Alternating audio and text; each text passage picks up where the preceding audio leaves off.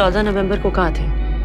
करीना कपूर खान ने इस बार सच में सकी बोलती बंद कर दी। 2024 इस करीना का साल। पहले क्रू का धमाका और अब द बकिंगम मर्डर्स का ट्रेलर। देखकर लगता है ये फ़िल्म एक और सुपरहिट मूवी होने वाली। जैसे ही ट्रेलर शुरू होता है, एकदम से सस्पेंस का माहौल बन जाता है। बेबो यानी करीना कपूर एक ब्रिटिश इंडियन डिटेक्टिव जसमीत भार्मा का रोल प्ले कर रही है, जो एक मर्डर केस सॉल्व कर रही है। ट्रेलर में एक सिख बच्चे के मर्डर का केस है और पाँच सस्पेक्ट है जिनके आस पूरी कहानी घूमती है। और भाई इन्वेस्टिगेशन में ट्विस्ट तब आता है जब एक मुस्लिम टीनेजर को अरेस्ट किया जाता है। कम्युनल टेंशन भी ऊपर से स्टोरी में मसाला डाल रहे हैं। करीना का इंटेंस लुक एकदम धमाकेदार एक्टिंग और रणवीर ब्रार केथ एलन जैसे स्ट्रॉन्ग कास्ट का सपोर्ट मतलब ट्रेलर देखते वक्त आँखें स्क्रीन से हटती ही नहीं। दो मिनट चौतीस सेकंड का ट्रेलर लेकिन हर सेकंड इतना इंगेजिंग कि पूरा टाइम लगता है कि कुछ बड़ा होने वाला है। करीना का कैरेक्टर फुल ऑन पावरफुल है और बैकग्राउंड म्यूज़िक तो गूस बम्स दे देता है। ये फ़िल्म सच में एक नेल बिटिंग थ्रिलर होने वाली है। और एक दिन में पूरे 60 लाख से ज़्यादा लोगों ने व्यूज़ कर लिए हैं यूट्यूब पर इस ट्रेलर को। इससे क्लियरली लोग भी वैसे ही एक्साइटेड हैं, जैसे हम। अब बस रिलीज़ का इंतज़ार है, क्योंकि वर्ड ऑफ़ माउथ तो इस फ़िल्म का